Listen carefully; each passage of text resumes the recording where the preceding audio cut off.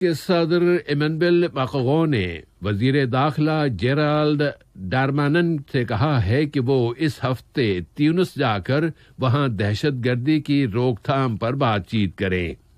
गुजश्ता जुमेरात के रोज फ्रांस के जनूबी शहर नीस में एक चर्च में हमला करने वाले के बारे में शुबा है कि वो त्यूनसी बाशिंदा है।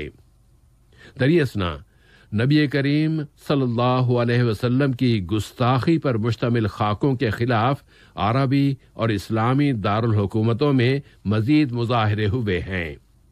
फ्रांस में इन गुस्ताखाना खाकों की इशाहत के बाद सिक्योरिटी, अमन अमान और सिफारती कशीदगियों में इजाफा हो गया है और मुतद इस्लामी मुल्कों में अब फ्रांस की बनी हुई अशिया का बाइकआउट किया जा रहा है।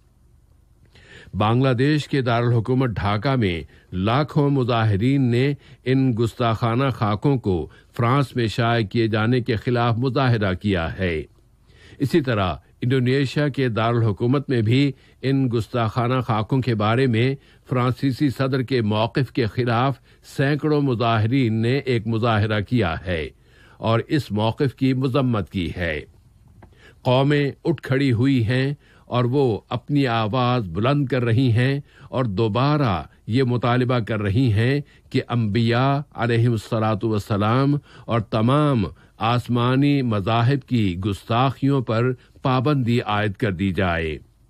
इन मुजाहिरों में ये मुतालबा भी किया जा रहा है कि इस्लाम और मुसलमानों को बदनाम करने और नफरत की सियासत से दूर रहा जाए। इसी जिमन में यूरोप में कायम बहुत से यूथ फोरम्स और इस्लामी इदारों ने इमैनुअल मकगों के नाम अपने खुले पैगाम में उनसे मुतालबा किया है कि वो मुसलमानों और उनके नबी सल्लल्लाहु अलैहि वसल्लम पर अपने हमलों पर नजरसानी करें कि वो अक्सर इस किस्म के हमले करते रहते हैं।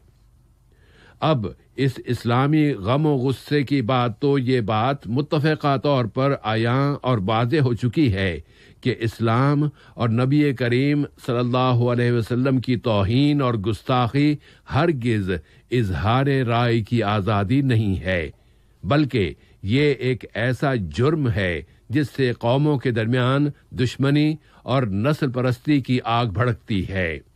और आज की दुनिया को सबसे ज़्यादा एक ऐसे बयानिए की ज़रूरत है जिसमें रवादारी और बातचीत की हौसला अफजाई की जाए, नफरत और खून रेजी की नहीं।